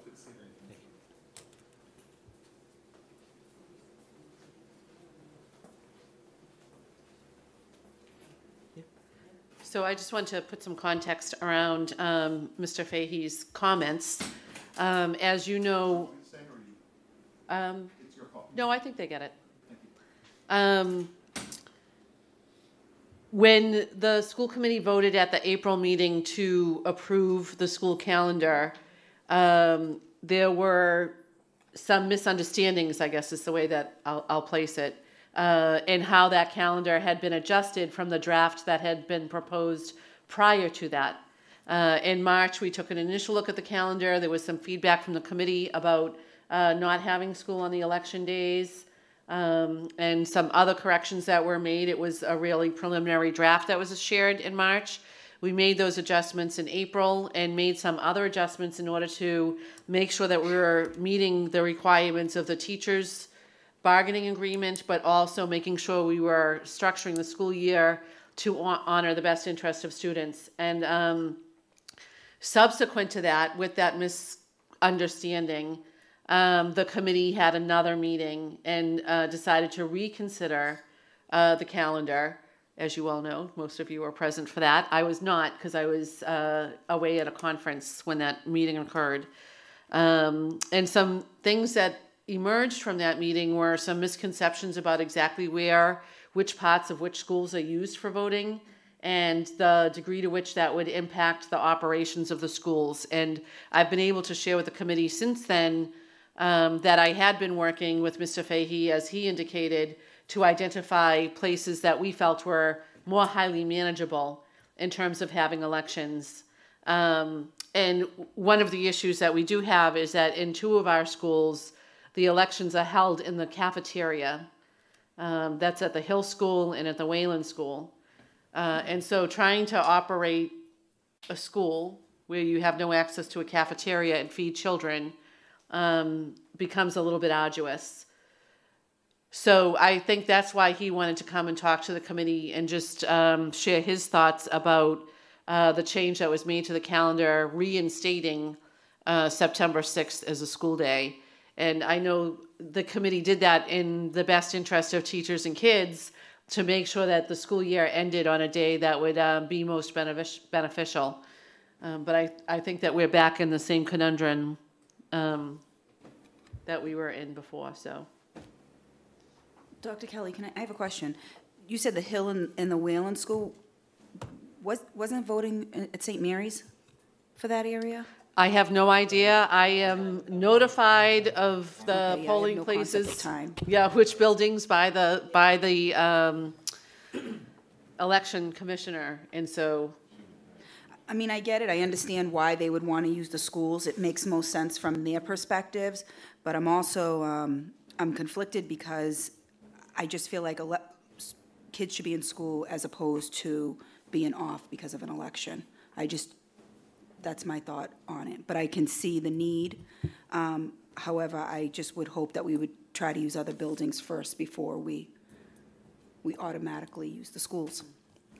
and I, and I will say that we don't use all of the schools. We, so that it's not um, as if there is voting in every single one of the schools. Uh, They use five of the eight buildings for election. And one of the things that I have said as we've talked to the election department, and these changes have happened with a new leader, and um, is that voting is perhaps the most critically important thing that any one of us can do in our lives. Um, and it's not lost on me how important it is to signal to students and children at a young age that those are th- that that's a right and a privilege that they should engage in every opportunity that they get. Um, so I, I definitely don't want to make do anything that's going to make it harder for the citizens of Revere to exercise their right to vote and uh, and make sure that the, people are able to easily participate in that civic exercise. But I agree with you that it is a challenge um, to not have school. I just think that there could be a happy medium um, where we can recognize the need to hold elections and separate uh, the folks who might come in to vote from our student body, which we really want to keep protected, um, primarily by not having school on election days. And what that does is it puts a little tweak to how our school year is going to be, and that might not please everybody. Um, so I don't know. I think decisions need to be made. I don't know. Can those days be forgiven? One day. It could, it's two days, and if there's special elections, it- Special election's already off. but, okay, but that's for this year. There's, there's still the chance that we could have a year where we have more than, we have special elections. I mean, what happens when we're getting into maybe three elections, four elections? I mean, that could happen. I'm, I'm just, It could happen. You're right. And, and we had a little bit of that situation this year because there Right. were a couple of special elections and we kept the schools open around the elections. It meant that in the schools like the Beachmont where we use the gym for voting, um, students couldn't have phys ed. And because of the need to set up in advance of the election day and have everything ready to go at seven AM, and then the need to secure machines after the election, it meant that three kids days. lost three days of phys ed. Uh, and that's a more, that's a challenge that we can overcome, particularly in, you know, September when we typically have good weather. Um, that's less of a concern for me, but um, could the day be forgiven? uh, I don't, I don't know what you mean by forgiven. I I mean, we have a contract with five different unions that dictates how many days they need to work and what their salaries are based on. Um, and we have kids who are deserved in education, do you know what I mean? Sure, Who- no, what I mean by is that like for the, for the services for the state trooper, we had appealed to DESE Right. and asked if the day could be forgiven. So what I'm asking is, is would it be unusual to ask for those days to be forgiven? Or for us, if we're going 185 days and we need to go 180, could we uh, exchange out, you know, those, those um, dates that the kids are missing school because of elections, not hold it against them? Do you know what I mean? Yeah, I mean, I, that, that is actually a, a great larger civic idea, like, should there be no work and no school on election days so that none of us have to worry about this stuff on a statewide level? Um, but in, in fact, the state rejected our request to have that day, um, that, where the state trooper was honored, forgiven, they said that, that we could not, that we had to make it up. Um, but because we do, um, a longer school year than is required by the state, this committee was able to say, we're gonna forgive that day. Okay. Um, and we were in, we're pretty much in the same position for next year as that situation was leading us to this year, which was, um, it was gonna force the last day of school to be the Tuesday after Juneteenth is observed, which meant, um, taking a three-day weekend and then coming back for one One final day. day of school, which just doesn't, doesn't make a whole lot of sense in terms of people's ability to focus and pay, pay attention and really make that be a productive day. Um, and so I think that's something that, that folks need to think about when we're setting the beginning of the school year, uh, is where is that end of the year gonna land? And that's really what should determine what the start of the school year is. Um, but we don't wanna get into a habit where what we're doing every year is saying, um, you know, we, we have these contracts and we've contracted with people for a certain number of days, but we're just gonna keep releasing them. We're just gonna keep forgiving them. It is still taxpayer money that we have hopefully uh, are doing the right thing. And on a rare occasion like we had this year, that it was absolutely beyond our control, um, that's one thing. But setting the calendar for next year is definitely something that's within our purview. So I would just give that to the committee to consider. Any, Mr. any other Chairman? members? Uh, Ms. Ferrante? Um, I understand both sides of the fence here, but in our last two elections, the one in November, the percentage rate was twenty percent on a full citywide election, and I'm sure the special election in December was less than that percentage. You can always vote absentee ballot if, if it's that important. The primary, I'm not sure how many people are gonna be coming out, because now you're dealing with, you know, long weekend, vacation, weather, so there could be different factors. I, I don't think it's a major concern for that one day. November, yes, I agree with that one, but the one in September, I don't agree with, and I think we can work around it somehow. And like I said, if people really want to vote, they'll find a way to do it. Thank you. Ms. Gravellese. Thank you, Mayor Arrigo. Um, And, you know, I don't think it's really the fact that, you know, people will find a way to vote, because they will find a way to vote. Um, But, the- like, my position is, and, you know, obviously, when I voted, I voted to close the schools on that day, and my reasoning for that is student safety. You know, that's my main reason behind it. So, you know, so, all right, so we don't think a lot of people are gonna come out in September, so we'll just open the schools and, you know, you could have fifty to, to two hundred people coming in, but we don't know who they are. We don't know where, their background. They're in the schools with our students. We don't know if it's safe for them. Um, so now we say, all right, so we'll open because it's gonna be small, but we'll close when it's a larger election. So now we set a precedence where we just make up our mind year to year what we decide it's gonna be. So my justification in voting to close the schools for that day was to be consistent, so people know what the calendar is, and my main concern is student safety. Thank you. Mrs. Rizzo. Yeah, I, I know student safety has come up for a few years. Um, But I also look at it, when we have end-of-the-year celebrations, or when we have holiday concerts, we don't know who's coming immediately into the same room with our students.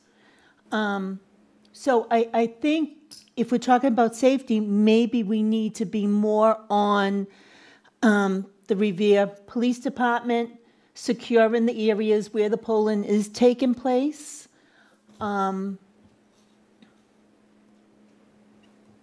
I mean, there's times I've seen people go in and out of the Lincoln School cafeteria, from the polling place into the cafeteria, which I've always had an issue with. And so I think that is where, if they want to be in the schools, there needs to be more security as far as doing it. Um, I mean, I know this year, you know, we talked about the sixth with, we didn't have all the facts. We did discuss it. But we made our decision. Um, And as far as using the cafeterias, like so many other times, couldn't those two schools do bag lunches that day? Um, I mean, it's not the easiest, it's not the most tastiest, but I think if a, a student wanted a bag lunch and uh, not stay in school an extra day at the end of the year, I think they'd take the bag lunch, not that they should have the choice. Uh, I just, the school safety part, I think that should be handled with the election department and with the Revere Police Department. We never worry about it at the spring concerts, the winter concerts, and we have not a clue of who's coming in. We have not a clue if they're CORI'd. Um, So I think there just could be some accommodations made to make it safer. Just my opinion. Thank you. Uh, Mr. Kingston. I originally um, voted to have school that day, but um, from hearing Mr. Fahey speak, um, my understanding is um, that there was conversations that the school would be closed, that arrangements had been made, and plans had been made to vote in a certain way. Um, And while I would like to have school that day, I totally understand the election department, and I also thought about my vote to Ms. Gravellese's point, in the unlikely event that something did happen, um, that, that would be awful. And I do agree that, you know, possibly the, the police that were assigned there and work there um, could possibly help in that um, regard.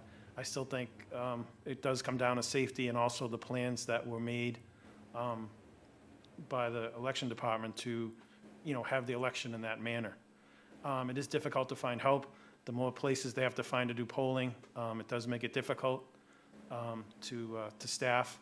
Um, So I, while I did it originally vote to not have, to have school that day, I have changed my mind um, based on listening to Mr. Fahey today and giving it some more thought, and also listening to Ms. Gravellese's uh, point about the safety issue.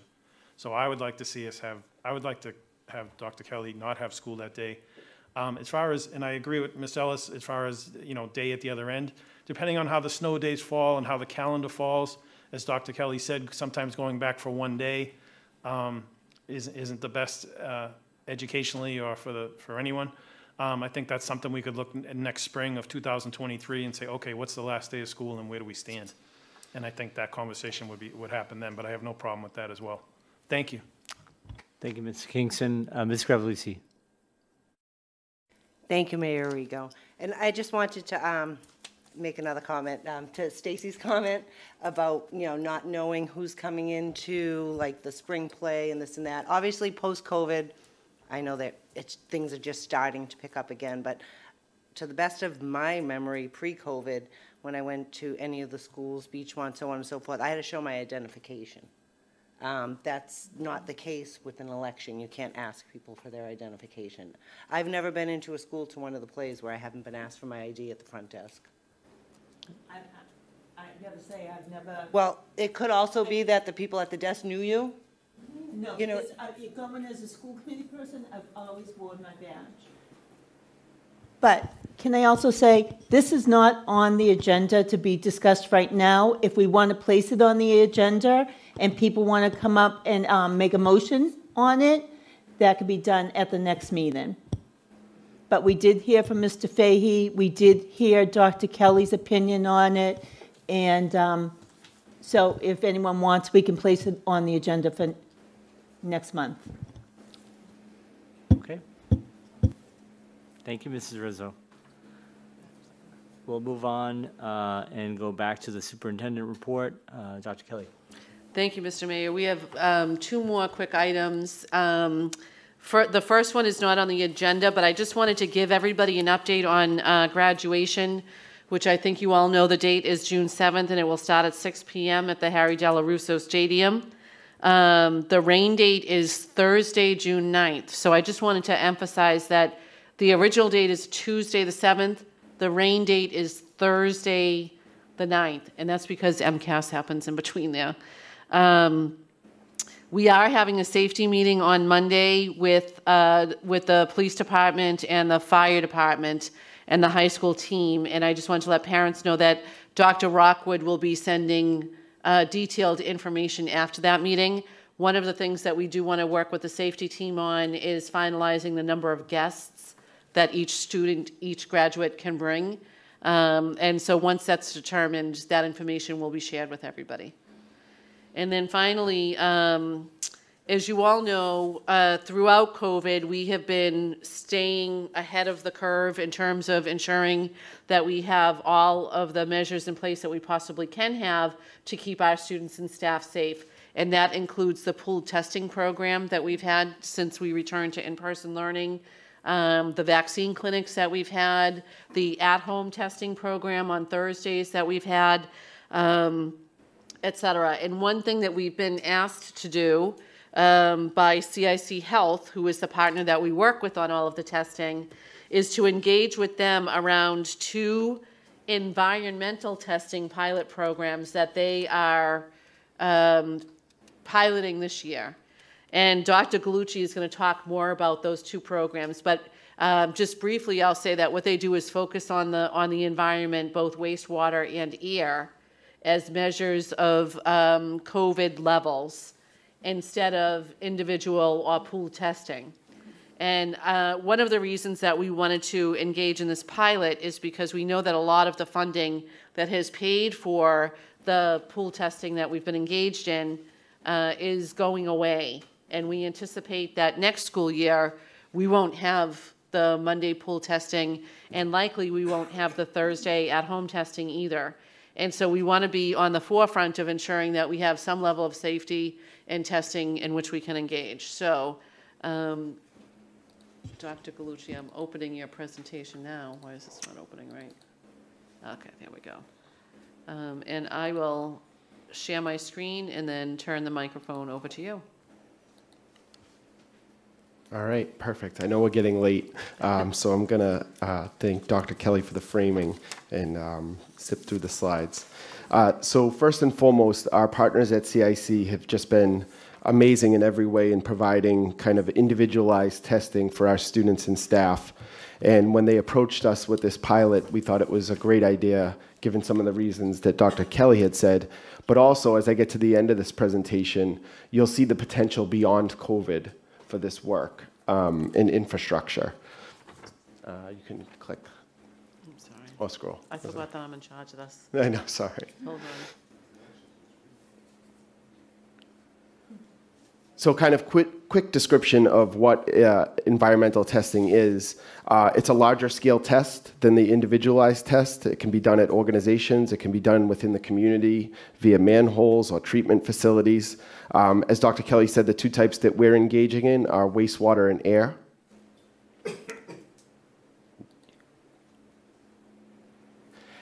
And uh, if you've been following uh, the media throughout the pandemic, um, you've probably seen or heard that the wastewater testing at Deer Island by the MWRA has been an incredible predictor of COVID levels, uh, whether they're increasing or decreasing.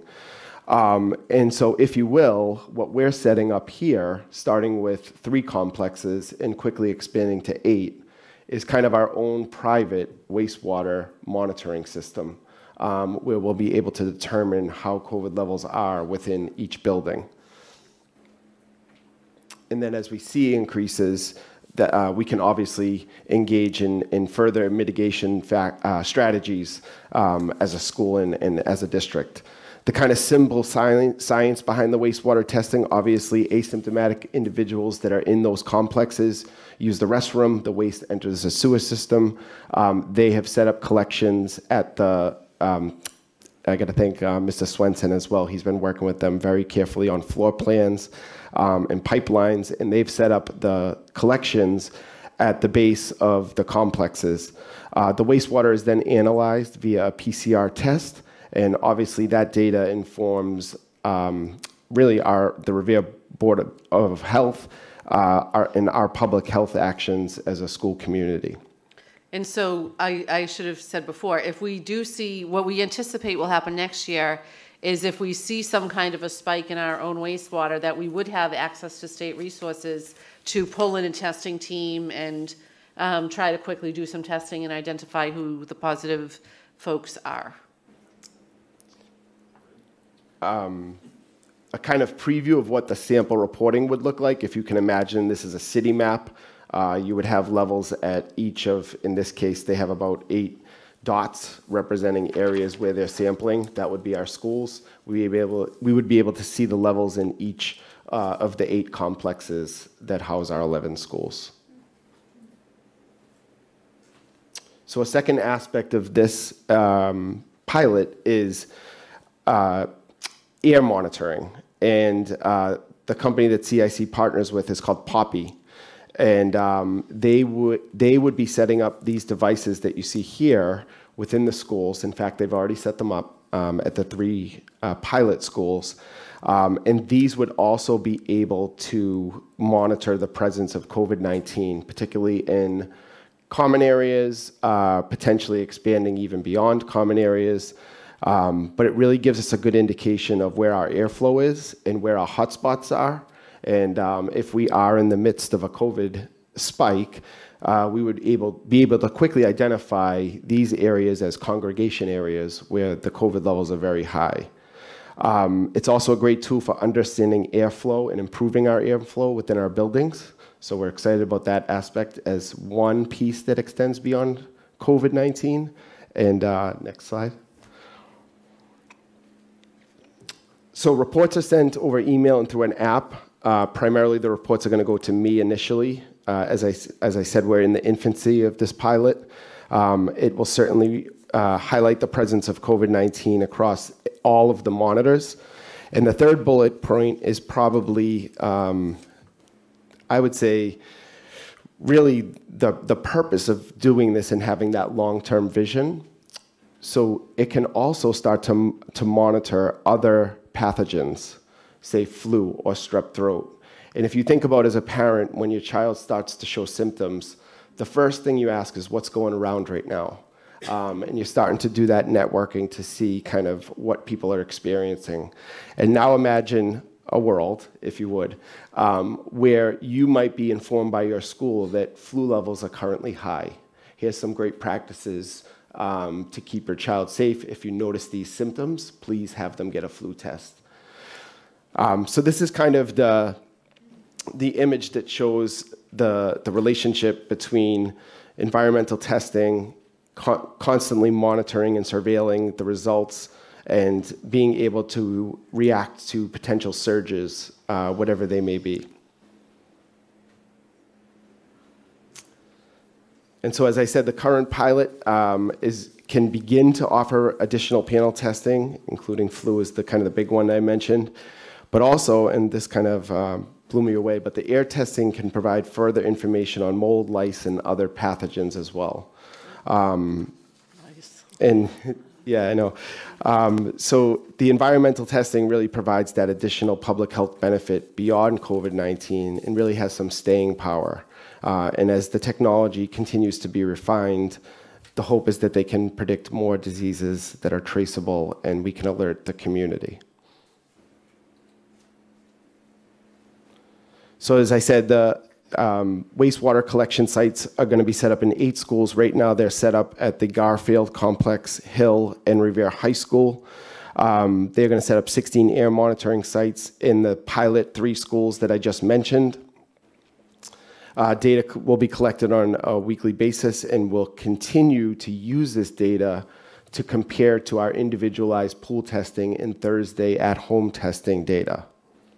And that's a really good point right there. We're, starting this work now so that we can assure that there is an alignment between what we're seeing and what we know are known surveillance methods and this new method before we get to a point where we think this is going to be the one method that's going to be available to us. And so, really, if, if all come true, uh, this is a really great way of imagining an infrastructure um, to really help support not only our efforts as a school system with public health, but um, we've also engaged our invaluable partner, Lauren Buck, who uh, has been meeting with the team and just gaining information um, to really expand even beyond the school systems at some point uh, after this initial pilot is complete and we start to see um, its success, hopefully. Thank you, uh, Dr. Galucci. Any members have any questions or comments? Ms. No question, just how wonderful it, it is and how lucky we are to be part of it. And think of the future, you know, I think when people found cures for previous diseases and then we're the beneficiaries, that maybe what we're doing now will benefit people in the future too. Thank you for, for, thank you for the presentation, Dr. Galucci. Thank you, Dr. Kelly and the mayor for leadership. And if I can just, just add one thing, I do want to say that I know that one of the reasons CIC reached out to us is because Dr. Galucci has been such a critical partner to them in everything that we've done throughout all of this COVID testing. And I know that they looked at him as somebody who was ready and able um, to bring on a new program that could impact students across the Commonwealth. Excellent. Uh, Ms. Gravellese? Thank you, Mayor Arrigo. Um, I also think it's a great program. I mean, it's been tested and true that, you know, the wastewater will show the COVID rates. I'm curious, has CIC partnered with any other school districts or cities or towns? And which ones are they and what, how successful have they been? I ask, I actually didn't ask that question, Oh. but from my conversations, I got the impression that we were the first. Okay. Um, I think there may be possibly others alongside us, but they just started the installations last week, so it's that new, um, and we're just going to start to get results either this week or the coming week um, from the, the systems that they've set up. And I should also thank the custodial staffs at all the buildings because they have been touring this team and doing such a great job and showing them the spots that they need to access. Which is great. You said they set up the air monitors so far, and then obviously they have their own specific way of testing wastewater, which I don't really want to know about. Yeah. Um, do they have to partner with like DPW, um, the water department or any of that to like, you know, are they like being like intrusive to the piping sewerage system? No. Like, um, So um, Carl Swenson, I, the first connection that I made was to them. So any of that permissions in terms of tapping into wastewater collection would have been handled by Carl. I believe, and I believe the Yeah. collection is happening at the point where the wastewater collects and exits the building. Yeah. Thank you. Any other, uh, Mr. Ferrante? Thank you, Mr. Chairman. Richie, how long is the pilot program gonna be good for? So they haven't given me an end date, um, but they are committed. In and this is relatively new science, right? So they they're very appreciative that we're willing to house this. So my hope is that it's going to have a little bit of lasting power. Thank you. Okay. We'll move on now to uh, public hearings. We have two. The first is a public hearing uh, for the conversion of Seacoast to an innovation school. I will open uh, the public hearing to proponents. Hearing and seeing none, we'll move on to opponents. Hearing and seeing none, I'll open it to uh, committee members. I'd like to hear from Dr. Kelly first. Okay, so we'll hear from Dr. Kelly. This is, this is something we do every year. Yeah. And, um, and of course, I'm going to vote no. No, th- Well, this the- I one just want to is- be clear that this hearing is on the Oh, Innovation This School at hearing is Doing the that Seacoast. one Yeah, first? yeah, Okay, yeah. not- Right. Sorry. The next one is the Not one that we do. school choice. all the time. But I, I will just say for uh, folks who are listening at home and may not know, but um, Dr. Mulligan made an extensive presentation uh, along with her staff and students last month. So the the the committee is very aware of the proposal for Seacoast to become an innovation school. Um, and the last step in that process is to actually take a vote in support of that. Um, the staff have already voted to support the proposal. Um, so we know that there is a lot of willingness to do this. I do want to uh, thank um, Committeewoman Rizzo, who was part of the innovation team, along with me and a few other people to help uh, make sure that the innovation plan met the needs, the expectations uh, of the school committee in general. Mrs. Rizzo, would you like to say anything? Um, Like we said, we've talked about this the last couple of months and the positive um, factors that will come into place for our students there. And all these decisions um, are made with what is best for the students. Um, So with that, I would like to make a motion to accept the Seacoast Innovation Plan. Motion, uh, motion made and seconded by Ms. Ferrante. Uh, Roll call. Mrs. Bronsdon Rizzo, Yes? Mr. Ferrante, Yes. Mrs. Gravellese, Yes. Mr. Kingston, Yes. Yes. Mrs. Milbury Ellis, Yes. Ms. Tye, Yes. Mayor Arrigo. Yes. Okay. Well, now, oh, Dr. Kelly. If I could say one more thing on that, I should mention that Dr. Mulligan wasn't able to make it tonight because she's actually on the interview committee for the new high school principal, and there are interviews happening as we speak.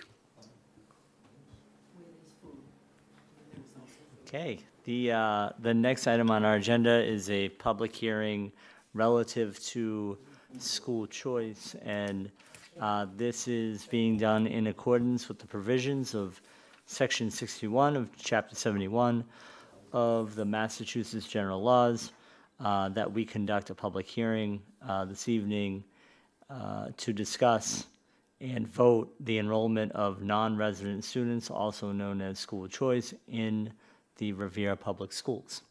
I will open it up to uh, proponents. Hearing and seeing none, we'll move on to opponents. Side will be closed, uh, and we will move on to Dr. Kelly. Thank you, Mr. Mayor. Um, As you know, um, we do take this vote every year, as Ms. Tye started to say, um, in thinking that we were already on this agenda item. Uh, Many districts, uh, the school committee will vote to accept students from other nearby communities, typically nearby, and to allow those students to enroll in their schools. The conditions in Revere have been such that we have been overcrowded, as you know, for a long, long time. And we just don't have room in our classrooms to accept students from other districts. In some districts, it makes sense when when their uh, classrooms are not full, or when they have more building space than they know what to do with, accepting students from other communities can help increase their funding uh, by increasing their enrollment. That's not the case that we find ourselves in here. Um, and so I would urge the committee to vote no uh, on the, on the option of accepting students from other schools into the Revere Public Schools. So on the school choice vote, a vote no means that you would not allow students to come from other districts into Revere. Okay, is there a motion? Well, we'll have to be very careful how we Ms. Tye. word that motion, because I was going to make the motion in a negative, that we vote not to participate in school choice, and that we not allow, which is, I think, what we have done other years. Now, if, so, if that's okay with you, that's the way I'll put it, all right. I feel very passionate about this. Okay. Uh, Ms. Mr. Ms. Mayor. Tye, have at it. So can I just clarify one more time for the Sure. folks at home?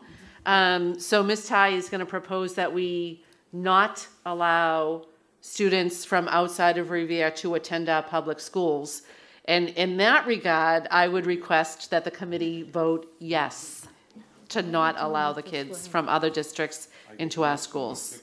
Thank you, Dr. Kelly. And so, for the reasons that Dr. Kelly just stated, I move that we vote, that this school committee vote no uh, on allowing students from, non-resident students, students from other school systems to participate in the wonderful education that we give here in Revere. No on school choice. Motion made by So Ms. if you- Tye, Second. Go ahead, go ahead. seconded by, oh, go, go ahead. we will not be participating in school choice. Correct. Correct. Motion made by Ms. Tye, seconded by Mrs. Rizzo. Uh, roll call. Mrs. Bronsdon Rizzo, Yes? Mr. Ferrante, Yes. Mrs. Gravellese, Yes. Mr. Kingston, Yes.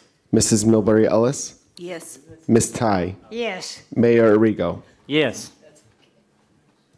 Okay. We'll move on to the next item on our agenda, which is the report of the subcommittees. Any subcommittee reports? There's Ms. Tye and Ms. Tye. Mr. Kingston. And Ms. Kingston. Ms. Tye? Okay. The um, Personnel Subcommittee of the Revere School Committee met. Uh, We had two items on the agenda. One of them was on the um, adjustment of salaries for our highest administrators, except of course in central office, the principals, who are the crucial people in, in school. But that is not within our purview uh, to establish any kind of salary schedule for them.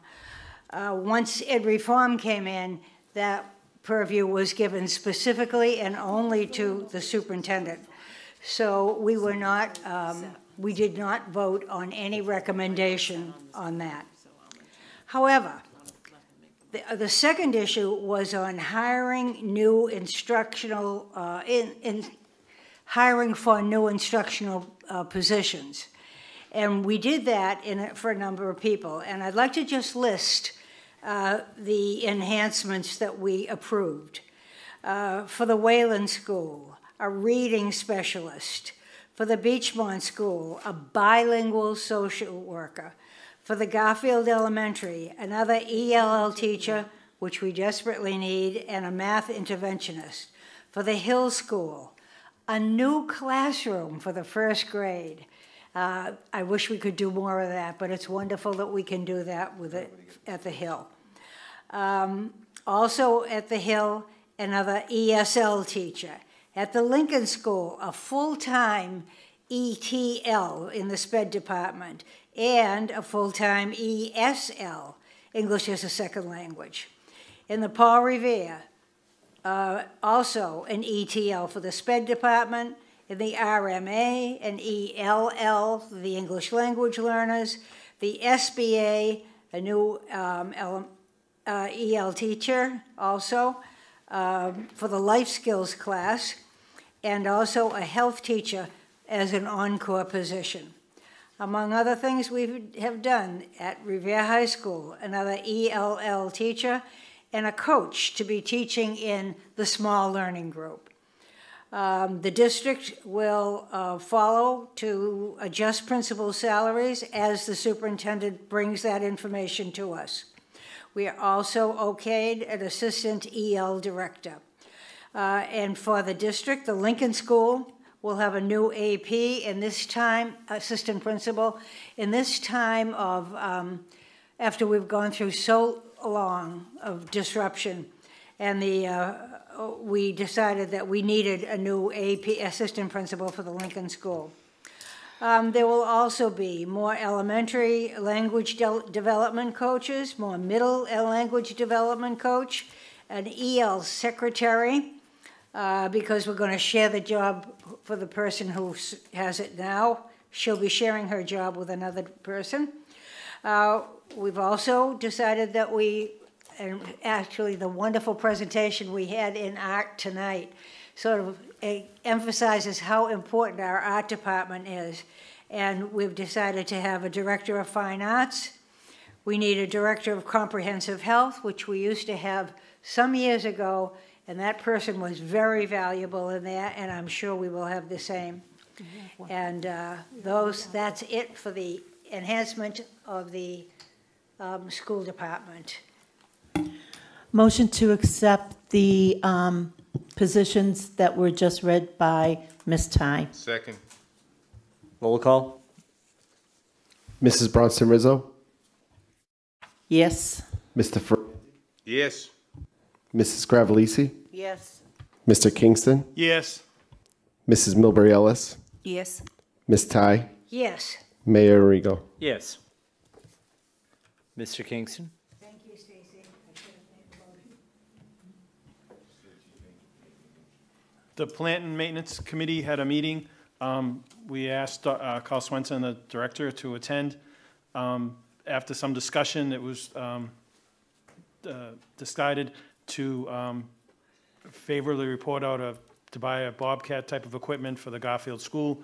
The Garfield School presents some challenges with snow removal, and Mr. Swenson uh, felt that that type of piece of equipment could really help with the um, layout of the Garfield School and the area that needs to be uh, taken care of during snowstorms. The second item on the um, agenda was um, for sound equipment in the, in the um, Revere High School auditorium. Um, The high school auditorium is used by the whole entire community. Um, At, for schools, uh, for instance, the Rumney will have a production there shortly. Um, So additional sound equipment um, was requested in, for the uh, high school auditorium to be used not only by the high school students, but the community, other schools in the community as well. Thank you. Thank you, Mr. Kingston. Motion to accept the report of the building subcommittee. Second. Roll call? Mrs. Bronsdon Rizzo, Yes. Mr. Ferrante, Yes. Mrs. Gravellese, Yes. Mr. Kingston, Yes. Mrs. Milbury Ellis, Yes. Ms. Tye, Yes. Mayor. Yes. Should we just clarify that that was the plant and maintenance subcommittee? My apologies.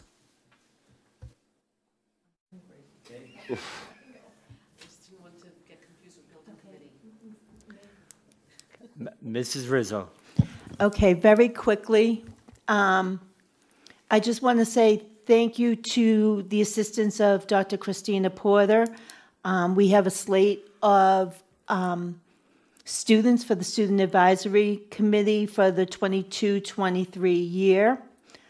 Um, It would consist of two freshmen, Madison McQuado and Nicole De Silva, two sophomores, Santiago Gil Betancourt and Raham Ahmed, and our very own Elni Lopez de Jesus. Um, and we were lucky enough that the two freshmen came to represent Revere in the student representation workshop this past weekend, and they were a great representation.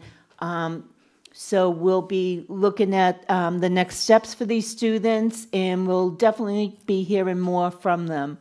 Um, and it, for the viewing public that doesn't realize, um, this is um, Massachusetts law that um, these five students um, are here at the high school to discuss student voice or anything having to do with the student culture. Um, and they always um, pick one of them to represent our, themselves to sit on our committee. Um, I will be entertaining a meeting um, soon about maybe having two on board. So um, I say congratulations to them, and I'm looking forward to meeting with them. Thank you, Mrs. Rizzo. Uh, Any other members? Uh, We'll move on to motions, which we have two. Oh, mi- uh, Dr. Kelly. So um, I just want to thank you, Mayor Arrigo, and I want to thank uh, Mr. Ferrante for participating in the contract negotiations with our AFSCME two units, Unit 93 and 93A. Um, We negotiated for a very, very long time, uh, which might make it seem like it was more arduous than it actually was. Uh, I am, as I have been throughout COVID, very thankful to our colleagues in the AFSCME um, units who really stepped up and did whatever they could, whenever they could, whatever needed to be done uh, throughout COVID. And we saw the same thing happening in negotiations, but they were protracted because they had a change in, in some oversight from the state agency and um, because truthfully, they were so collaborative that uh, I, I think that maybe we didn't have the same sense of urgency that we might have had with some other units. Um, so I, I am very thankful to the people who were on the negotiating team. Um, they did have representation from all of the different uh, aspects, uh, with uh, Mark Scabo representing the custodians, along with Jimmy Sakuzo, who helped him with that, Dave Patch, who represented the bus drivers. Um, uh, I should mention Dee Dee Can was also representing the custodians, Pauline Lyons representing the full-time cafeteria workers. Um, I know that I'm going to forget people. Christine uh, Cavanaro representing secretaries.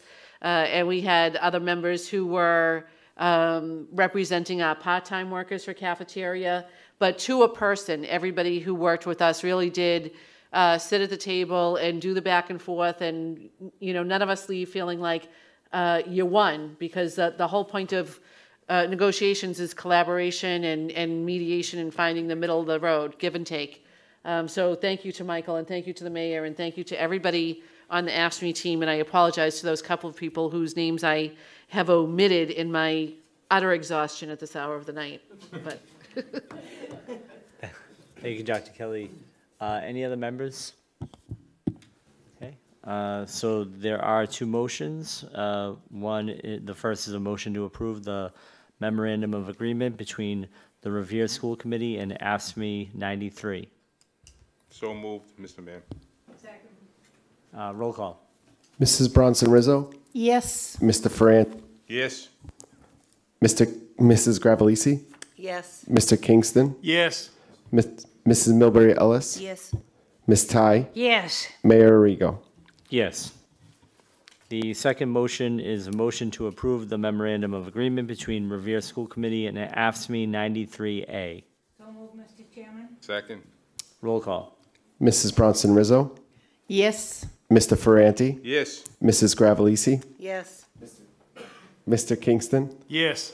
Mrs. Milbury Ellis, Yes. Ms. Tye, Yes. Mayor Arrigo. Yes. Uh, We'll now move on. Ms. Tye. Uh, At this time, it's usually co- when we have completed negotiations. Oh, sorry. At this time, when we have already completed negotiations with with all of our units, it is customary for us uh, to deal with people who are non-union people.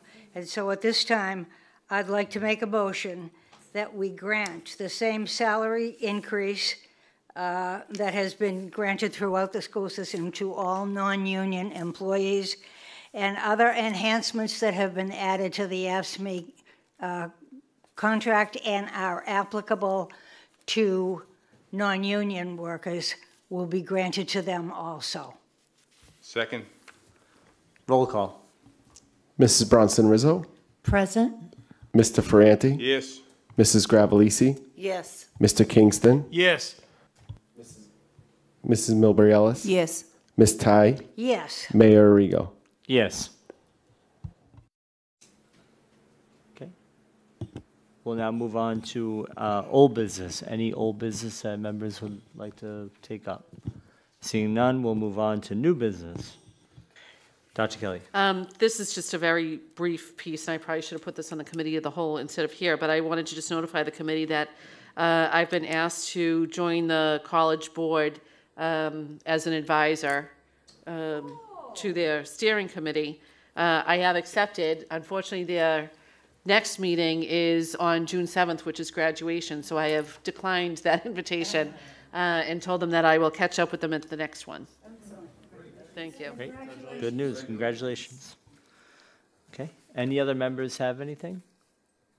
Uh, At this point, we will, oh, Mrs. Rizzo.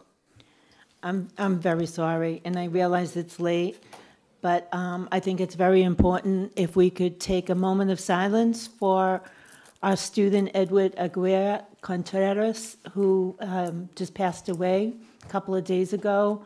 Um, Edwin had such an infectious smile, and he was always a student. If we went to the um, Garfield for any of their concerts. I would love to just sit there and watch him because he was just so animated and had so much fun at those concerts. So I'll take from me that smiling face and um, prayers, condolences to um, the people at Garfield, his family, and all his friends. So if we could kindly take a moment of silence.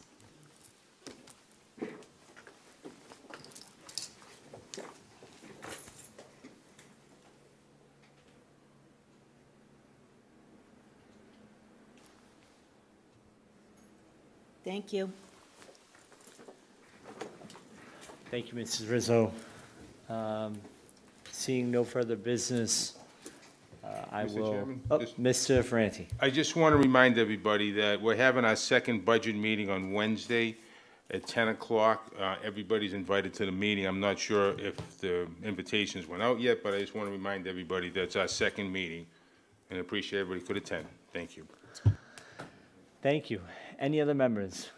Uh, Seeing no further business, we will adjourn the Revere School Committee meeting of May 17th. Thank you. Overtime.